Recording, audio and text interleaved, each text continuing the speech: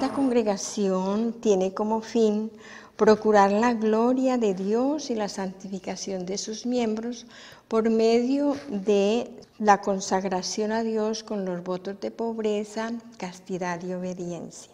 Su fundadora es la Madre María Carmen Rendiles. En el actual momento está en proceso de beatificación. Hoy queremos destacar principalmente nuestra labor en la fabricación de las hostias en las diferentes casas de la congregación para proveer de ellas a todas las diócesis del país de Venezuela.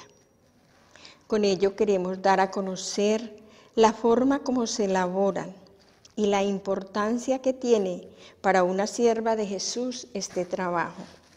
Saber que ese pedacito de harina Jesús, el Hijo de Dios hecho hombre, se convierte en el cuerpo y la sangre de Cristo con toda su divinidad y que en esa hostia consagrada, que en esa hostia está el Jesús de Belén, el divino Jesús de Nazaret, el Salvador misericordioso, el mismo Jesús que padeció muerte y que se inclina con infinita comprensión y bondad para perdonarme y curar mis debilidades.